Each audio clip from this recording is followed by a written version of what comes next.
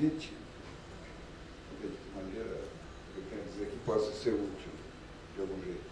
Há muita coisa que é redundante, aspectos de descrição uh, do cenário, do ambiente, uh, dos instrumentos de tortura, etc.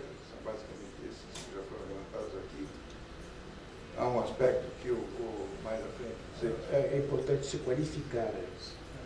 Meu nome é Sérgio Gomes, eu sou jornalista, junto com mais dez colegas fundamos há 35 anos atrás a Oboré, que se colocou à disposição uh, do movimento dos trabalhadores para organizar a comunicação dos trabalhadores e dos movimentos de resistência à ditadura. Uh, tenho 64 anos, nasci dia 15 de setembro de 49, quase que eu e o Scavone podemos juntar as forças para comemorar os aniversários na semana. E entrei no Partido Comunista Brasileiro no final de 69, pelas mãos de um desaparecido, José Montenegro de Lima, sabia, sabia exatamente o que se passou com esse amigo.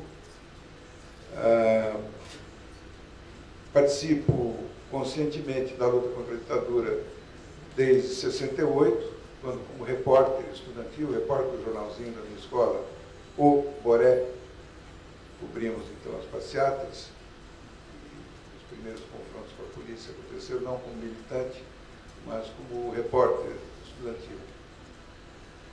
E participei de Grêmio e todas essas coisas que nos levavam compreender mais ou menos o que estava se passando ali. E depois, com, a partir do ato institucional número 5, a situação se agravou e vários colegas do Alberto Conte, do meu colégio, nós entendemos que o que a gente fazia, Grêmio, jornalzinho, passeata, etc., tudo isso era pouco, era insuficiente, e nós queríamos, então, participar de uma organização mais ampla. E, portanto, é aí que eu e vários ingressamos no Partido Comunista Brasileiro, no final de 69, que como todos sabem aqui, uma linha política diferente em relação aos grupos de ação que compreendia uh, politicamente as coisas de uma maneira diferente. Portanto, uh, depois foi nos mostrando, e depois eu vou entrar em detalhes disso, que o, não existe o torturador, existe a tortura. É a tortura que engendra o torturador. E nós sabíamos que as coisas não eram tão simples quanto dizer general de plantão, que é uma forma simplificada de se referir aos militares que nessa época dirigiam o governo, que havia diferença entre eles, evidentemente havia diferença entre eles, mas nós não nos iludíamos em relação ao que Golbery, Geisel e Figueiredo, que uma parte da esquerda dizia que não era preciso, não fazer nada, porque eles eram os fiadores da abertura, que a abertura viria naturalmente. E nós trabalhamos com a ideia de que eles queriam abrir, mas antes eles queriam nos matar.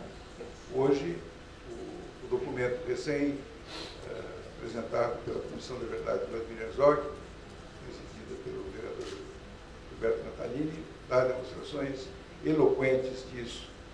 Havia uma política deliberada de eliminar fisicamente aqueles que pudessem se aproveitar da abertura que viria, que seria inevitável, para que ela não ficasse limitada ao que eram os propósitos que eles tinham. É efetivamente uma democracia ampla e profunda. No caso, ah, quando eu fui preso, eu era então do Comitê Universitário, do.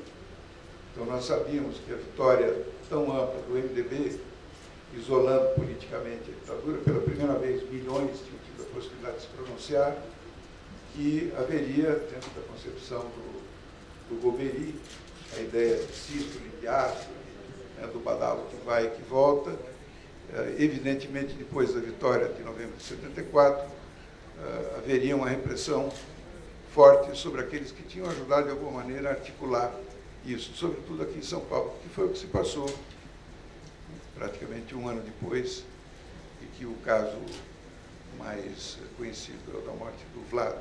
Então eu faço parte dos que foram presos nessa operação, que se chamava de início da Operação Jacarta, etc. São todas coisas conhecidas, mas o tempo aqui hoje não vai ser dedicado a isso, certamente. E, então, tinha responsabilidades. Uh, o nosso trabalho durante esses anos, 70, 71, 72, 73, uh, na universidade, basicamente era de recuperar a normalidade da vida universitária, reconstruir a imprensa universitária, estimular a criação de cineclubes, grupos de teatro, fóruns de debate, que os centros acadêmicos voltassem a ter vida, com participação de todos, uh, a criação de uma revista importante chamada Balão, pelo Laerte, depois vai ter um significado grande uh, no futuro para a imprensa sindical dos trabalhadores. E, portanto, a nossa militância era basicamente de natureza política. Uh, não nos animava a ação individual de pequenos grupos na ideia de substituir tal das massas, né, como se diz. Mas havia uma grande dificuldade de perceber como é que essas massas de milhões chegariam. E elas se dariam através de, sobretudo, dos processos eleitorais, que não era uma unanimidade, evidentemente, na esquerda, de admitir que esse era um processo também eficaz. Então, portanto, muita gente que, afinal, depois vem a ser presa do PCB, uh, considerava que havia um despropósito entre a tamanho da violência, da natureza, os requintes de crueldade que se praticassem sobre pessoas que tinham vida pública, onde o processo investigativo de quem conhece quem, onde que mora, etc., nesse caso, não se justificava, porque essa atividade é uma atividade de peito aberto, muito próxima do precipício, o tempo todo. Então, portanto, essa, esse método que o empresariado aqui de São Paulo, parte dos militares, a construção da OBAN e depois do ICOD, de trabalhar com a ideia de ação violenta, com alvo definido, de um mecanismo uh, paramilitar paralelo que identificasse as pessoas, que a maioria estavam vivendo na clandestinidade com nomes trocados, não tinham uh, vivência política nem social, então era perfeitamente possível a ação de entrar num apartamento, num prédio, pegar aquela pessoa que certamente tinha nome trocado, era um codinome, desaparecer com ela e nem o pessoal do prédio se mexer, porque nem sabia de quem se tratava. Mas esse método, quando, a partir de 74, vai ser aplicado sobre as organizações que tinham basicamente uma prática de natureza política, certo? de mobilização pública, onde havia essa interface com a vida civil, dos sindicatos, dos centros acadêmicos, das associações de bairro, da organização do próprio MDB, da, do apoio diversas maneiras aos movimentos de comunidade eclesial de base, movimento contra a caristia, esse método, evidentemente, uh, seria ineficaz, porque em algum momento uh, esse tipo de ação iria produzir uma reação que seria incontrolável para eles, como de fato aconteceu. No caso meu concreto. Eu fui preso no dia 5 de, abril, 5 de outubro, no Rio de Janeiro, eu e Valdir Quadros, que era presidente da Juventude do MDB, 5 de outubro de 1975. O Valdir e eu fomos ao Rio de Janeiro, comprando passagens antecipadamente, isoladamente, num ônibus da meia-noite, para podermos chegar ao Rio uh, por volta das seis, seis e pouco onde nós iríamos entregar dinheiro que recolhíamos entre os colegas. No caso, eu era repórter da agência Folhas. Então, durante o mês, recolhíamos dinheiro com quem estivesse disposto a contribuir. E tínhamos um amigo, um companheiro, João Guilherme Vargas Neto, que estava uh, absolutamente clandestino, fechado num apartamento, ficou aí durante um ano e meio, esperando sair do país, como afinal saiu, e tinha que sobreviver à custa dessa, desse tipo de ajuda, porque uh, ele tinha feito uma denúncia grave de que o miolo do Comitê Central do PCB havia um, um agente da CIA, depois se comprova que era fato, e que era fulano de tal, que não sei quem é o nome, e quando ele vai para o Rio de Janeiro e receberia passaporte, etc., para poder sair do país, marca-se um ponto e exatamente a pessoa que está lá no lugar é exatamente a pessoa que ele tinha denunciado como ligada a isso. Então, ele é obrigado a, evidentemente, recuar e fica durante um ano e meio até que conseguiu uma outra solução. Conseguiu um passaporte como se fosse um equatoriano e embarcou para a França durante o carnaval no aeroporto de Salvador da Bahia, imaginando que durante o carnaval em Salvador da Bahia o serviço de fiscalização do aeroporto não seria tão eficaz assim, o que deu certo. Então eu tinha um compromisso com o João Guilherme de mensalmente ir ao Rio de Janeiro, ou sábado ou domingo, primeiro sábado, primeiro domingo de cada mês. Ele assistiria à missa das oito, naquela igreja do Largo do Machado, que ele fosse à missa sábado, que fosse à missa domingo, que eu apareceria por lá, via por onde ele onde estaria sentado, chegava perto, deixava o envelope com o dinheiro, rezar, fazia de conta que rezava e ia embora para São Paulo. Mas nesse outubro, o Valdir Quadros, presidente da Juventude do MDB e também do Comitê Universitário do PCB, propôs que, que também queria ir, estava com saudade do João Guilherme. E nós queríamos conversar sobre uma coisa grave que tinha acontecido, que era o acordo Brasil-Alemanha, um acordo atômico, Brasil-Alemanha. Ele, como presidente da Juventude do MDB, imaginava organizar um seminário de alto nível e debater o que, é que isso significava. Lembrar que isso foi feito nesse momento, Gás. Eh, da minha parte, me interessava que na parte da tarde, uma coisa aparentemente menor, mas eu e outros jornalistas aqui, o caso do Oswaldo Luiz Colibri Vita e outros, nós estávamos empenhados na fundação do Clube do Choro, dessa música instrumental que estava absolutamente marginalizada. Era uma época em que já não se tocava mais música brasileira nas emissoras, etc. E a gente entendia que ajudar a resgatar esse gênero musical, basicamente instrumental, que não tinha letra, essa ideia do protesto, parte da letra, que isso tinha sentido para contribuir de alguma maneira com a ideia de, de resgate do, da ideia de nação, de povo brasileiro. E, portanto, na parte da tarde, eu tinha agendado um encontro com o Paulinho da Viola e o Sérgio Cabral para conversarmos sobre isso, porque a gente tinha ideia de organizar esse clube do choro aqui em São Paulo, mas o jeito de organizar do Rio de Janeiro é diferente. Então, portanto, nós tínhamos uma, uma dupla tarefa no Rio de Janeiro, encontrar o João Guilherme, etc., e depois eh, iríamos fazer contatos para o Clube do Choro e para esse seminário sobre o acordo nuclear Brasil-Alemanha. Acontece que nós não sabíamos que no final, no último dia de setembro e primeiro dia de outubro, tinham sido presos praticamente todos os membros do Comitê Estadual do PCB aqui em São Paulo. E nós estávamos no dia 5. Um dos presos, Antônio Bernardino dos Santos, nessa época com alguma coisa em torno de 70, 70 e poucos anos, portuário do Porto de Santos, um dos líderes da greve na década de 30 contra o embarque de mercadorias e navios para a Espanha, como forma de protesto contra a ditadura do Franco. Os portuários uh, brasileiros fizeram isso, tiveram, e ele era um dos líderes desse movimento na década de 30, e nesse momento era do Comitê Estadual do PCB e que sabia, por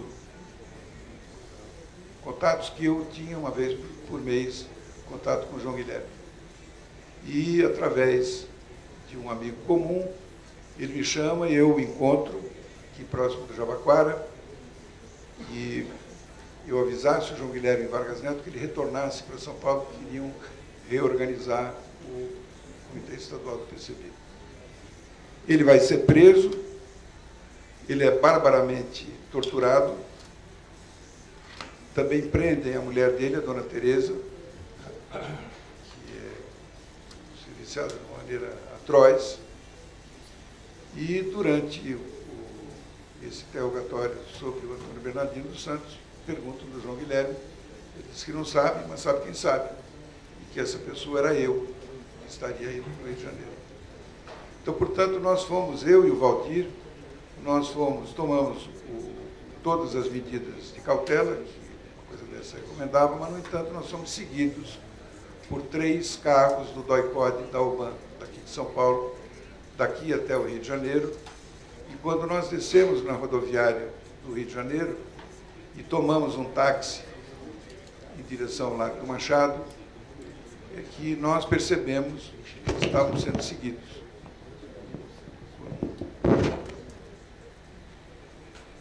Enquanto o nosso táxi saía, enquanto o táxi saía, uma pessoa corria lateralmente, enquanto o táxi ali naquele congestionamento natural de perto de rodoviária, uma pessoa correndo e segurando aqui na barriga um volume, que certamente ia ser uma arma. Existem três carros, e ele entra no primeiro pela porta do, do carona, do passageiro. Mas eu achei muito estranho porque ele entra correndo, tinha os dois carros de trás tinham gente, três pessoas cada um, mas esse não tinha ninguém uh, ao volante. Então, evidentemente, uma coisa muito estranha, que nos fez ficar alerta, e aí, em seguida, controlando pelo vidro de trás, nós percebemos que estávamos sendo uh, seguidos. Portanto, aos 25 anos, nossa vida estava prestes a acabar. Combinamos que o primeiro bar que a gente encontrasse aberto, nós diríamos ao taxista que parasse, que nós entraríamos nesse bar, iríamos para o banheiro, todos os nossos papéis, anotações, etc., jogaríamos na, na privada e dali a gente tentaria, cada um para um lado. Isso foi feito, que criou dificuldades para eles, porque eles não conseguiram imediatamente parar atrás da gente. Fizemos essa, essa desova de pequenos papéis, etc.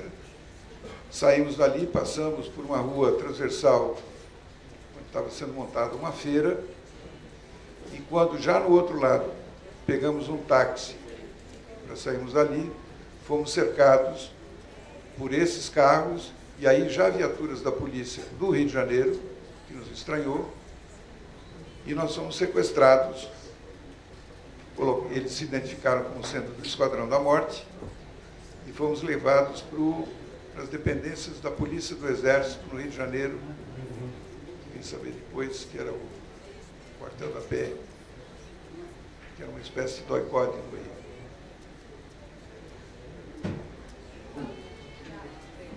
Eu pediria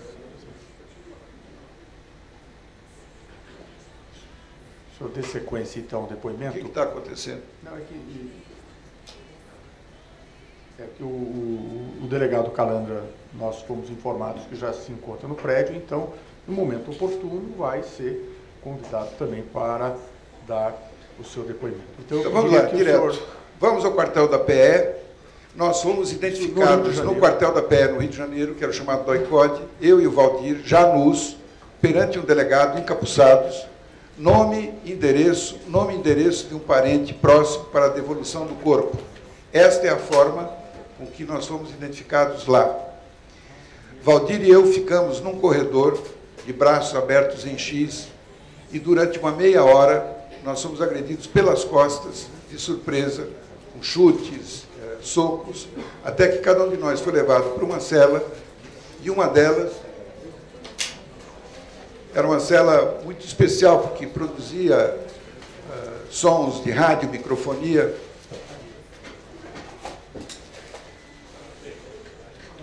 Aí, uh, eu e o Valdir decidimos que a nossa vida tinha acabado, que tinha sido interessante até então, não nos arrependíamos absolutamente de nada, já que foram dados depoimentos aqui de caráter de foro íntimo, eu digo que esse momento em que eu fui preso no Largo do Machado, em que uh, não havia nenhuma uh, ilusão de que nós sairíamos dessa, a minha sensação pessoal é de que a minha vida tinha acabado.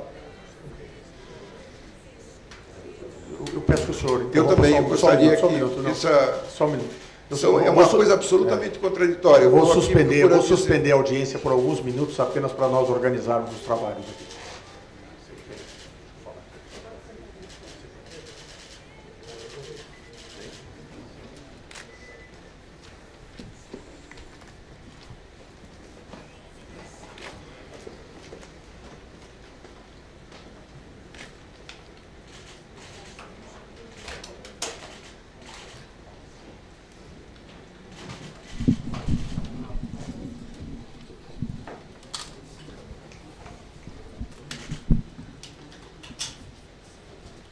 Peço que os colegas da imprensa, então, concluam aí o seu registro para que a gente possa retomar, para que o, o senhor Sérgio Gomes possa prestar o testemunho dele com tranquilidade.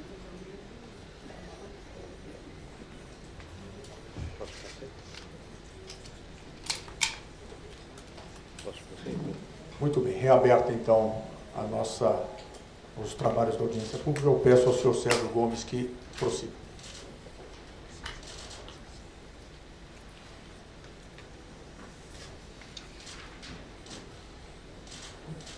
Vou repetir aqui, de uma outra maneira, já foi dito aqui pelo Natalini e por aquela senhora, e também pela Melinha, que a vingança é a justiça dos bárbaros,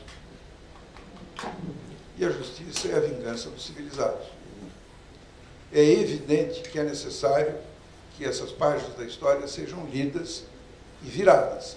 Para elas serem viradas, devem ser lidas. É preciso que recupere e que se entenda que não é uma questão de pessoas, é questão de cadeia de comando, que é, são, é da natureza dos regimes políticos engendrarem ou não a tortura como método, a esculhambação do cidadão como método, o papel arbitrário, o abusado das forças que são constituídas para dar segurança, como um direito humano, segurança, contra a diversidade, ela de onde vier, do Estado ou dos criminais.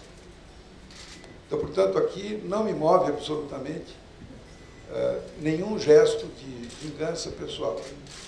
Isso deve ficar absolutamente claro. Até porque eu já disse aqui no começo que havia uma compreensão política da nossa parte de que isto era perfeitamente possível.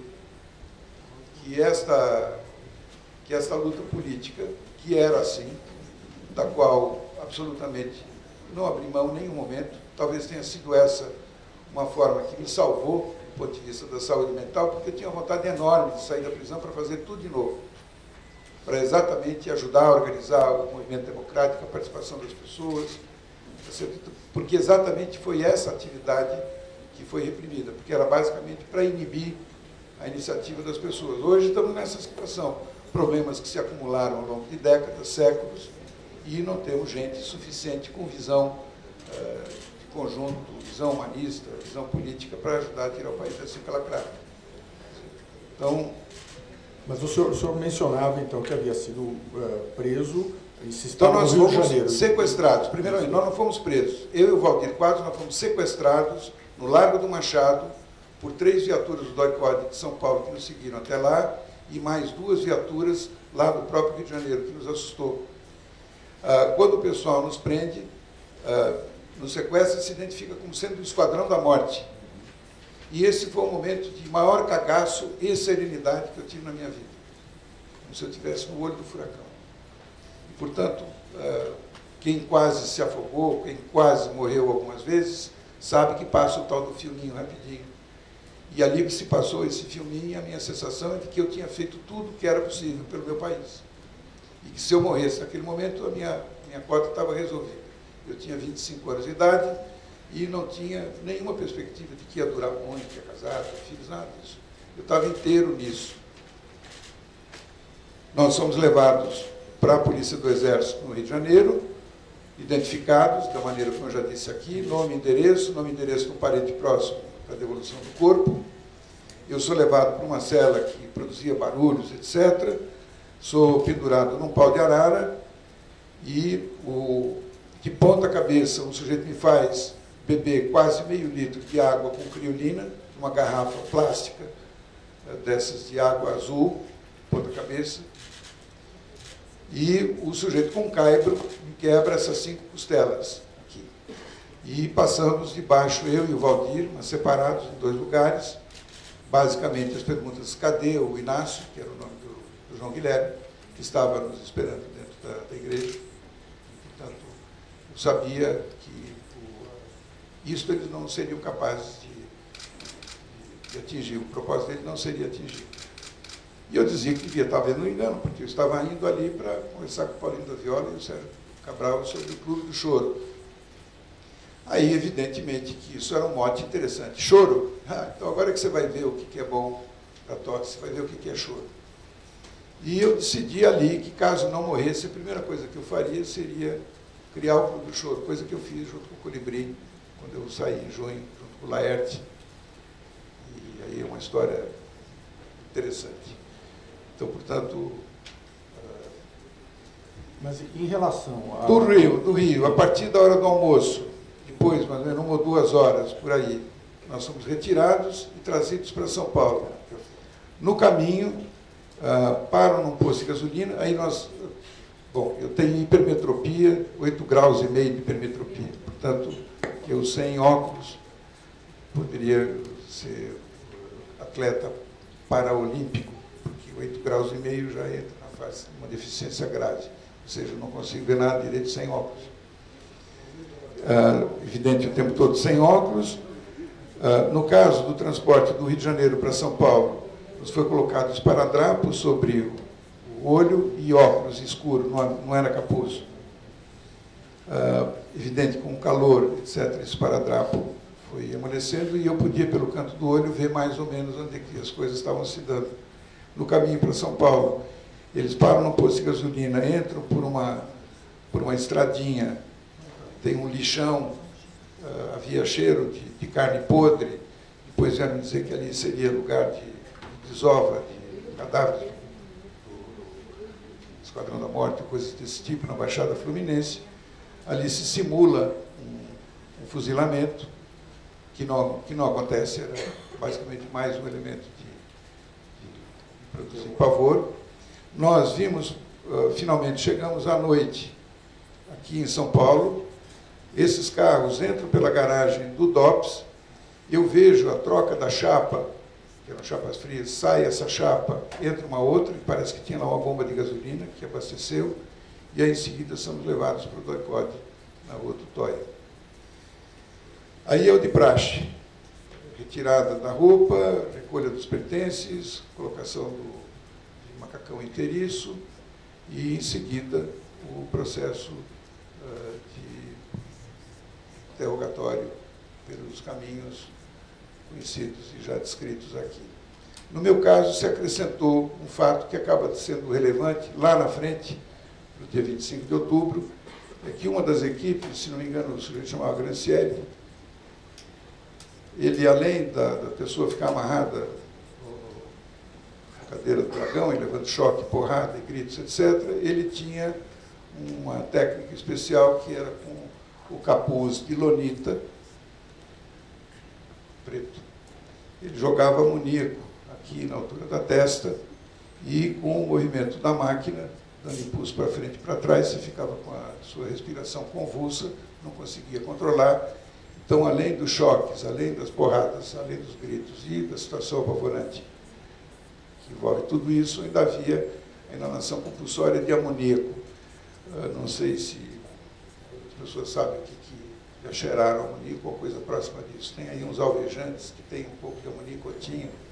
É uma coisa alucinante e que pode levar, certamente, eu no caso percebi isso, que você vai ficando próximo da loucura depois eu descobri que é possível o, o cérebro, para salvar a pessoa da loucura, ele dá uma descarga e o sujeito tem um derrame e pode morrer. Eu digo, já disse isso, já lá, na, quando a família Herzog abriu o processo, que essa foi a forma como se matou o Vladimir Herzog, porque ele foi torturado exatamente por, pela equipe que tinha essa, essa técnica especial. Esse cara era um sujeito que tinha isso com marca sua das três equipes, só ele.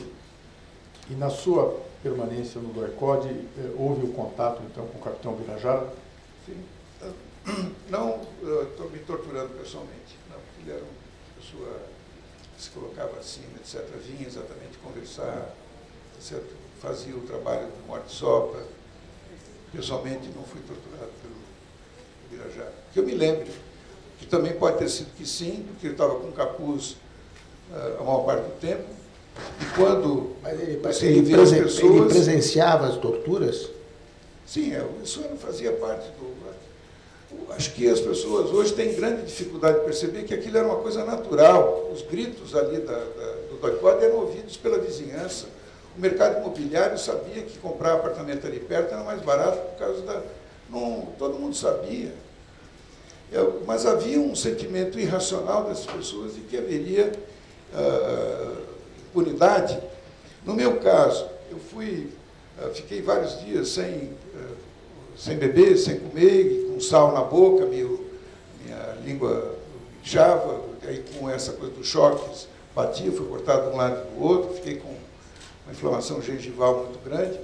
Fui levado uh, numa C14 por gente até o quartel do segundo exército, aí não era mais a delegacia, uma coisa paralela, até o quartel do segundo exército, uh, sentado numa cadeira uh, de dentista, onde o filho da puta meteu a broca num dente vivo, que é uma das dores mais alucinantes que alguém pode ter, a ponto que eu demorei 30 anos, e até hoje não terminou, para botar em ordem a minha boca, porque só de ouvir o barulhinho do, do, desse motor, se tiver aqui a 100 metros um dentista mexendo com isso imediatamente, como se fosse ouvido de, de tuberculoso, todo travado.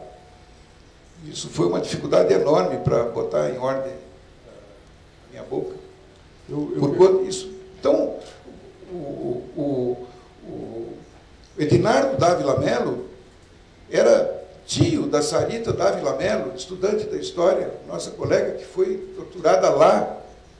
Uh, recentemente ficamos amigos por Facebook. Falei, Sarita, por tanto tempo que a gente não se vem cá. É verdade ou eu inventei que você estava presa lá e o teu tio foi te ver e você continuou? Não, é verdade. Por conta disso, ele deu, ela foi chamada, deu um depoimento na, na comissão municipal, se não me engano, não deu? Sim. Então, alguma coisa se passava quando você vê agora esse relatório JK, o Figueiredo, ele articulando com o cara da TINA, etc., Operação Condor, enfim, havia uma sensação de que tudo isso poderia ser feito impunemente, que estava numa boa, e eu acho que tinha gente, inclusive, que achava que estava fazendo bom combate a favor do país contra essa gente maluca. Como o nosso tempo já está avançando, eu tenho uma última pergunta, uh, senhor Sérgio. O senhor, uh, em que momento o senhor associou o, a figura do capitão Birajara ao delegado Aparecido Laertes Calandra? Agora, agora. Eu, o, diferentemente de alguns companheiros que eu tiro o chapéu realmente pelo empenho, persistência, etc., gente que ficou, está sendo tão marcado e que teve possibilidades de ficar. Eu, no meu caso, não fiz isso para a minha vida. Tá certo? Eu fui contribuir de um outro jeito, retomando as coisas, de ajudar o movimento dos trabalhadores, o movimento democrático, democratização da comunicação, ah, de tal maneira que essa, esta água grande, esse tsunami que seria capaz de varrer esse lixo. Eu não fui, ah, durante esses anos, atordoado por esta ideia de ficar identificando quem foi A, B, C ou D, que é importante, mas que ah, talvez por esse defeito original de achar que não existe o torturador, mas existe a tortura que engendra o torturador, e que, portanto, é preciso lutar pela democracia, pelas instituições, para eliminar a possibilidade de um canalha como esse delegado de polícia da 30 eh, delegacia, que antes de ontem, antes de ontem, o meu filho, que tem 27 anos, que é artista, chama-se Paulinho em Fluxos, que organizou uma coisa chamada Tanque Rosa Choque, que é um tanque que não atira balas, atira luz, tá certo? ele faz a troça uh, contra a violência. Uh, foi ameaçado. Eu vou contar isso porque isso faz a ponte. Eu peço, eu peço Tanto tempo depois, um delegado dois, dois, se sente à vontade de esculhambar com, com um, um cidadão que foi à delegacia buscar de volta um instrumento cenográfico de uma performance que ele fez uh, durante o show do Lobão, que disse que esse pessoal dos direitos humanos fica aí falando só porque alguém perdeu umas unhinhas durante a ditadura. Ele achou que isso era um insulto. Lobão fez essa declaração, vocês sabem disso, tentando desmoralizar a Comissão da Verdade. E ele foi ao show do Lobão durante a virada cultural e atirou nele luz, aqueles raios, e por isso foi preso. E agora, seis meses depois, foi lá buscar o, o cenário, lá o, o aparato o alegórico, o delegado disse que só devolvia se mostrasse nota fiscal do pedaço de pau.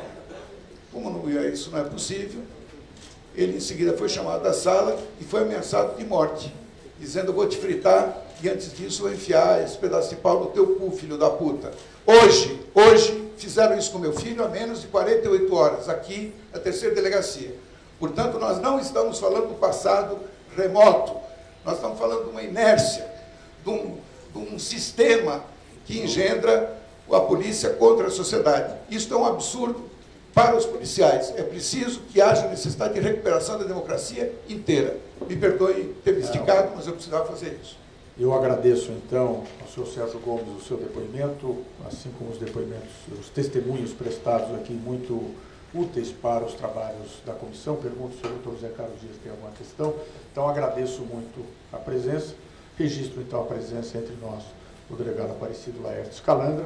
Ainda ouviremos uh, o testemunho do deputado estadual Adriano Diogo, conforme está. É tão estranho a gente se encontrar assim, cara a cara. Você... Oh, peço, Sérgio, por favor, por favor.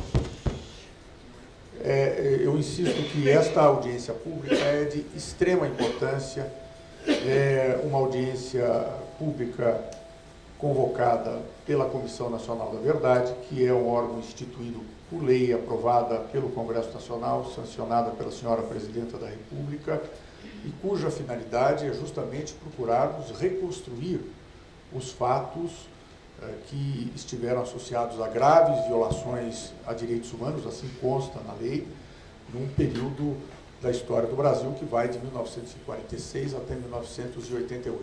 E é isto que a comissão fazendo. Portanto, todos os testemunhos e depoimentos que são prestados perante a comissão contam com o agradecimento dos membros da comissão, porque é uma maneira de se procurar coligir elementos que vão permitir que a comissão produza o relatório que está previsto uh, na lei para que o faça.